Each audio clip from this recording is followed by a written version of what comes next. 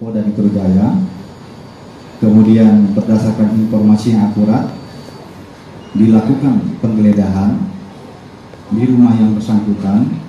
Kemudian di situ ditemukan satu bungkus rokok merek JC Ball dengan berisi barang bukti narkotika jenis tembakau sintetis seberat 1,45 gram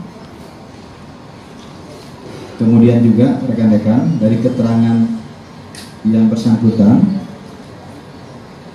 bahwa saudara Viko Fahriza atau FF ini sudah lama ya mengkonsumsi narkotika jenis tembakau sintetis ini yaitu sejak tahun 2016.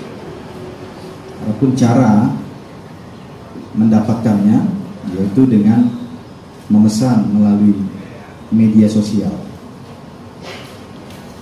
Sekarang sedang kita kembangkan ya uh, orang yang menyuplai melalui media sosial itu kita sudah mengetahuinya dan ini masih dalam tahap pengejaran oleh penyidik.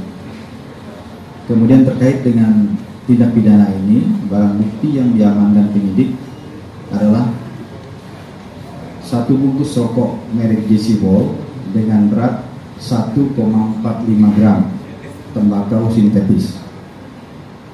Kemudian terkait dengan kejahatan ini, tentunya penyidik sudah menetapkan yang bersangkutan. Ya, uh, saya jawab rekan-rekan bahwa pengungkapan ini dari para tersangka ini tidak semuanya ada memiliki keterkaitan, ya ada yang kemarin sempat memiliki terkaitan seperti Jeb Smith dengan Novel Samudra, ya, memesan melalui orang yang sama. Tetapi yang lain berbeda. Dan jenis narkotikanya kan juga berbeda-beda. Ada yang sabu, ganja, kemudian tembakau sintetis dan sebagainya.